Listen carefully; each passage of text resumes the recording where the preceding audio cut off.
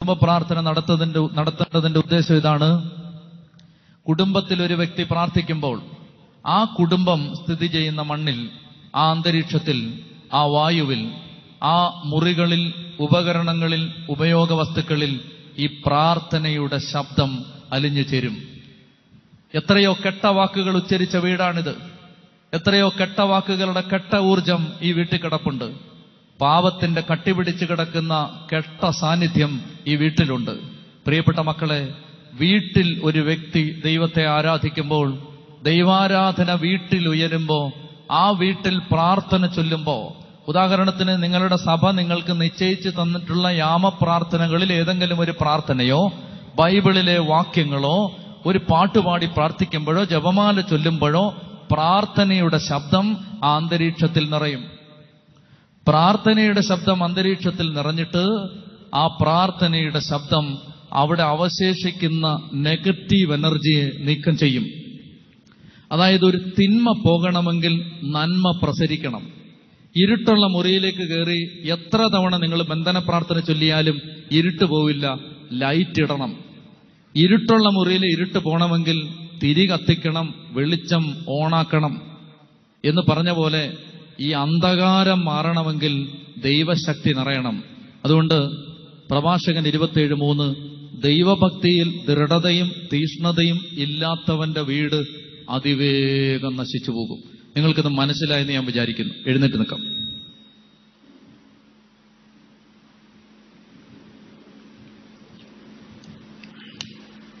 കുടുംബത്തിൽ ദൈവത്തെ ആരാധിക്കാൻ എന്റെ പ്രിയ മക്കളെ നിങ്ങൾ സമയം കണ്ടെത്തണം. നിങ്ങളുടെ വീട്ടിൽ ദൈവത്തെ ആരാധിക്കാൻ നിങ്ങളെല്ലാവരും സമയം കണ്ടെത്തണം. എല്ലാ മക്കളും സമയം കണ്ടെത്തണം. അതായത് ദൈവഭക്തിയിൽ ദൃഢതയും തീഷ്ണതയും വരണം. നിങ്ങൾ വ്യാപാര സ്ഥാപനങ്ങൾ നടത്തുന്നവർ കട നടത്തുന്നവർ എല്ലാ മക്കളും ഇത് ശ്രദ്ധിക്കണം. അതായത് പാലാ നഗരത്തിലെ ഏതാണ്ട് എൺപത്തി അഞ്ച് ശതമാനം കടകളും ക്രിസ്ത്യാനിയുടേതാണെന്ന് എനിക്കറിയാം. എനിക്ക് നിങ്ങളോട് പറയാനുള്ളത് അത് നല്ല കാര്യം. കാരണം നമുക്ക് അത് നിങ്ങളുടെ കടയിലേക്ക് കയറി സാധനങ്ങൾ വാങ്ങിക്കാമല്ലോ. അത് നല്ല കാര്യം. പക്ഷെ ഞാൻ പറയുന്നത് പ്രിയപ്പെട്ട മക്കളെ അന്തിയിൽ നിങ്ങളുടെ കുടുംബത്തോടൊപ്പം ഇരുന്ന് പ്രാർത്ഥിക്കുന്നതിന് അന്തിയിലെ നിങ്ങളുടെ വ്യാപാരം തടസ്സമാവരുത്. ഇത് പറയുന്നത് ഒരു കുഞ്ഞനുജന്റെ ഉപദേശമായിട്ട് നിങ്ങൾ സ്വീകരിക്കേണ്ട. നിങ്ങൾ ദൈവത്തിന്റെ വചനമായിട്ട് ഇത് സ്വീകരിച്ചാൽ മതി. അതായത് പ്രിയപ്പെട്ട മക്കളെ നിങ്ങളുടെ കുടുംബത്തിൽ മാതാവ് പിതാവ് മക്കൾ സഹോദരങ്ങൾ ഒരുമിച്ചിരുന്ന് ദൈവത്തെ ആരാധിച്ചാൽ ഒരു കാര്യം നിങ്ങൾ ശ്രദ്ധിച്ചോണം. ഭൂമിയിൽ നിങ്ങൾ രണ്ടുപേർ ഏക മനസ്സോടെ ചോദിച്ചാൽ. എന്നെ ശ്രദ്ധിക്കണം വളരെ ശ്രദ്ധിക്കണം മർമ്മപ്രധാനമായ കാര്യമാണിത്. മത്തായുടെ സുവിശേഷം പതിനെട്ടാം അധ്യായത്തിലാണ് ഈ വചനം പറയുന്നത്. ആ വചനം പറയുന്നത് എന്തെങ്കിലും ആവശ്യത്തിന് വേണ്ടി പ്രാർത്ഥിക്കുന്നതിനെ പറ്റി അല്ല.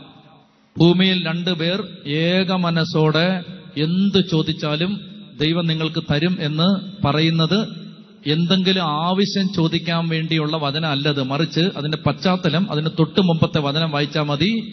നിങ്ങൾ ഭൂമിയിൽ കെട്ടുന്നതെല്ലാം സ്വർഗത്തിലും കെട്ടപ്പെട്ടിരിക്കും.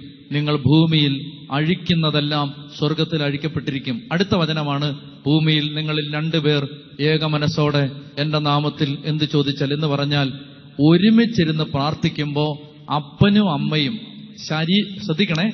ശരീരം കൊണ്ട് മനസ്സുകൊണ്ട് ആത്മാവ് കൊണ്ട് ഒന്നാവുന്ന ഭാര്യാഭർത്തൃ ബന്ധം പോലെ മനുഷ്യനും മനുഷ്യനും ഒന്നാവുന്ന വേറൊരു ബന്ധമില്ല.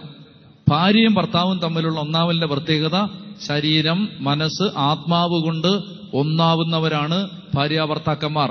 ഏക മനസ്സോടെ ഒന്നാവാൻ പറ്റുന്നത് ഭൂമിയിൽ ഭാര്യാഭർത്താക്കന്മാർക്ക് പറ്റുന്നത് പോലെ വേറെ ആർക്കും പറ്റില്ല. കാരണം അവർ തമ്മിൽ അഗാധമായ ബന്ധമുണ്ട്. അപ്പോൾ അപ്പനും അമ്മയും ഒരുമിച്ച് മക്കളെ ഇരുത്തി കുടുംബ പ്രാർത്ഥന നടത്തിയാൽ നിന്റെ കുടുംബത്തിൽ എന്തെങ്കിലും ഒരു കാര്യം അഴിഞ്ഞു കിടന്നാൽ നിങ്ങൾ ഒരുമിച്ച് പ്രാർത്ഥിക്കുന്ന വീട്ടിൽ നിങ്ങൾക്കത് കെട്ടാൻ പറ്റും. നിങ്ങളുടെ കുടുംബത്തിൽ എന്തെങ്കിലും കെട്ടപ്പെട്ട് കിടന്നാൽ ഒരുമിച്ച് പ്രാർത്ഥിക്കുന്ന മാതാപിതാക്കൾക്ക് അത് അഴിക്കാൻ പറ്റും. ഒരുമിച്ച് പ്രാർത്ഥിക്കുന്ന മാതാപിതാക്കൾ കൈവിരിച്ച് കരഞ്ഞാൽ മക്കളുടെ കെട്ടഴിയും. ചതി പറഞ്ഞേ ഹാലേലുയാ. ചതി പറഞ്ഞേ ഹാലേലുയാ. എന്റെ ഭാര്യയെ നീ എനിക്ക് വേണ്ടി കൂടി പ്രാർത്ഥിക്കുന്നുണ്ടല്ലോ എന്ന് പറഞ്ഞ് ഭർത്താവ് സമാധാനിക്കരുത്. അമ്പത് ശതമാനമേ ആ വീട്ടിൽ ദൈവശക്തി നിറയൂ. ഭാര്യ ഭർത്താക്കന്മാർ ഒരു യൂണിറ്റാണ്. ഒരു സിംഗിൾ യൂണിറ്റ്. അവരൊരുമിച്ച് പ്രാർത്ഥിക്കണം. അവരൊരുമിച്ച് പ്രാർത്ഥിച്ചാൽ അത്ഭുതങ്ങൾ സംഭവിക്കും. പ്രിയപ്പെട്ട മക്കളെ അതുകൊണ്ട് ഒന്നാമത്തെ മേഖല ഇതാണ് വീട്ടിൽ പ്രാർത്ഥിക്കണം. വീട്ടിൽ നിങ്ങൾ പ്രാർത്ഥിക്കുന്നത് നിങ്ങളുടെ കുഞ്ഞുങ്ങൾ കാണണം കണ്ടു വളരണം. പ്രിയപ്പെട്ട മക്കളെ നിൽക്കുന്ന ബുദ്ധിമുട്ടുണ്ടോ? രണ്ട് മിനിറ്റോടെ നിന്നോ? കുറെ നേരമായിട്ടിരിക്കല്ലേ അതായത് എനിക്ക് തിരുവനന്തപുരത്ത് തന്നെ യുവജനങ്ങളുടെ ശുശ്രൂഷയിൽ വളരെയധികം സഹായിക്കുന്ന ഒരു ചെറുപ്പക്കാരനുണ്ട്. സൗദി അറേബ്യയിൽ അപ്പനോടൊത്ത് ബിസിനസ് ചെയ്യുകയാണ്. ഒരു പത്ത് ദിവസം ഗ്യാപ്പ് കിട്ടിയാൽ ചാടി വരും. വരുന്ന എന്തിനെന്നറിയാമോ? ഞാൻ മുറിയിലുണ്ടെങ്കിൽ എന്നെ കൈയോടെ പിടിച്ച് വണ്ടിക്കകത്ത് കയറ്റി അഞ്ചാറ് ചെറുപ്പക്കാർ കാണും തീരപ്രദേശങ്ങളിലേക്ക് പോകും അവിടെ ചെന്നിട്ട് ഒറ്റയ്ക്കിരിക്കുന്ന മനുഷ്യർ ഒമ്പത് മണി പത്ത് മണി പതിനൊന്ന് മണി ഒക്കെ സമയം. ആ സമയത്ത് തീരപ്രദേശങ്ങളിൽ കടൽ തീരത്തൊക്കെ അല്ലെ പള്ളിമുറ്റത്തൊക്കെ ഒറ്റയ്ക്കിരിക്കുന്ന ആളുകളെ കണ്ടുപിടിക്കും. എന്നിട്ട് അവരുടെ അടുത്ത് ചെല്ലും. എന്നിട്ട് അവരോട് വിശേഷം ചോദിക്കും. ഈശോയെക്കുറിച്ച് പറയും. കർത്താവിന്റെ സ്നേഹം കൊടുക്കും. ബൈബിൾ കൊടുക്കും. സ്ട്രീറ്റ് മിനിസ്ട്രി എന്നാണ് അതിനെ അവർ പേരിട്ടിരിക്കുന്നത്. എന്നോട് പറയും അച്ഛൻ വണ്ടി ഇരുന്നാൽ മതി എന്ന് പറയും. ഞാനവിടെ പുറത്തിറങ്ങിയൊക്കെ നിൽക്കുന്ന സമയത്ത് ഓരോരുത്തരെയായിട്ട് കൊണ്ടുവരും. എന്നിട്ട് പറയും "ദേ അച്ഛൻ പ്രാർത്ഥിക്കും. ഞാൻ പ്രാർത്ഥിക്കും. പ്രിയപ്പെട്ട മക്കളെ ഇത് ചെയ്യാനാണ് വരുന്നത്. സൗദി അറേബ്യയിൽ നിന്ന് ചാടി വരുന്നത് ഇത് ചെയ്യാനാണ്. അവന് ഇംഗ്ലണ്ടിൽ എഞ്ചിനീയറിംഗ് ഒക്കെ പഠിച്ച് മിടുക്കനായിട്ട് വന്നൊരു ചെറുപ്പക്കാരനാണ്. അവനുണ്ടല്ലോ ഞാൻ അവന്റെ ആത്മീയ പിതാവാണ്. അവന്റെ മനസ്സെന്തുമാത്രം വിശുദ്ധിയുള്ളതാണെന്ന് എനിക്കറിയാം. ഒരു പോസ്റ്ററിൽ പോലും നോക്കാത്ത ചെറുപ്പക്കാരൻ. വിശുദ്ധനാണ് വിശുദ്ധൻ. പ്രിയപ്പെട്ട മക്കളെ പത്തിരുപത്തഞ്ച് വയസ്സുള്ള ഈ ചെറുപ്പക്കാരൻ വിശുദ്ധി പാലിക്കുന്നവനാണ്. അവൻ എന്റെ അടുത്ത് പറഞ്ഞിട്ടുണ്ട് ബാങ്ക് ബാലൻസ് അല്ല ഒന്നിലധികം വീടുള്ളതല്ല ബിസിനസ് സാമ്രാജ്യമുള്ളതല്ല.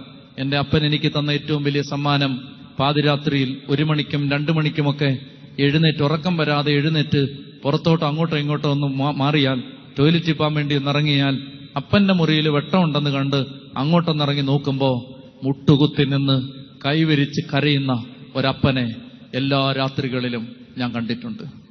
മാതാപിതാക്കളെ നിങ്ങളുടെ മക്കൾക്ക് കൊടുക്കാവുന്ന ഏറ്റവും വലിയ സൗഭാഗ്യം മുട്ടുകുത്തുന്ന കരയുന്ന നിലവിളിക്കുന്ന പ്രാർത്ഥിക്കുന്ന ഒരപ്പൻ ഒരമ്മ. ഇതിനപ്പുറത്ത് നിങ്ങൾ എന്ത് കൊടുത്താലും നാളെ വൈപരീത്യങ്ങളുടെ ഭാവി സന്ധികളിൽ നിങ്ങളുടെ മക്കൾ നിങ്ങൾക്കെതിരെ തിരിഞ്ഞ് ചോദിക്കും എന്തേ ഞങ്ങൾക്ക് ദൈവത്തെ തന്നില്ല. എന്തേ ദൈവസ്നേഹം ഞങ്ങളെ പഠിപ്പിച്ചില്ല? കണ്ണുകളടച്ച് കരങ്ങൾ സ്വർഗത്തിലേക്ക് ഉയർത്തി. കുടുംബത്തിൽ ദൈവത്തെ ആരാധിക്കണം. കുടുംബത്തിൽ പ്രാർത്ഥിക്കണം. കുടുംബത്തിൽ ദൈവത്തിന്റെ അഭിഷേകം ഇറങ്ങണം ഓരോ വീടും അഭിഷേകം ചെയ്യപ്പെടണം. ഈ പാലാ നഗരത്തിന് പതിനായിരക്കണക്കിന് ക്രിസ്തീയ കുടുംബങ്ങൾ ദൈവത്തെ ആരാധിക്കുമ്പോൾ കേരളം വിശുദ്ധീകരിക്കപ്പെടും. സന്ധ്യാനേരങ്ങളിൽ പ്രാർത്ഥന ഉയരുമ്പോൾ ദേശത്ത് അന്തരീക്ഷ ശക്തികളുടെ അന്തരീക്ഷത്തിന്റെ അധിപന്മാർ കീഴടങ്ങും. കരങ്ങൾ ഉയർത്തി. പ്രിയപ്പെട്ട മക്കളെ ഈ നഗരത്തിൽ കത്തീഡ്ര ദേവാലയത്തിലെ പരിസര പ്രദേശങ്ങളിൽ നിന്ന് വചനം കേൾക്കാൻ വന്ന എല്ലാ കുടുംബങ്ങളിലും മരണം വരെ കുടുംബ പ്രാർത്ഥന മുടങ്ങാതിരിക്കാൻ ദൈവമേ ഒരു അഭിഷേകം വെളിപ്പെടാനായി ഇപ്പൊ ഞങ്ങൾ പ്രാർത്ഥിക്കുന്നു. കരങ്ങൾ ഉയർത്തി സ്തുതിക്കട്ടെ. ഹാലലു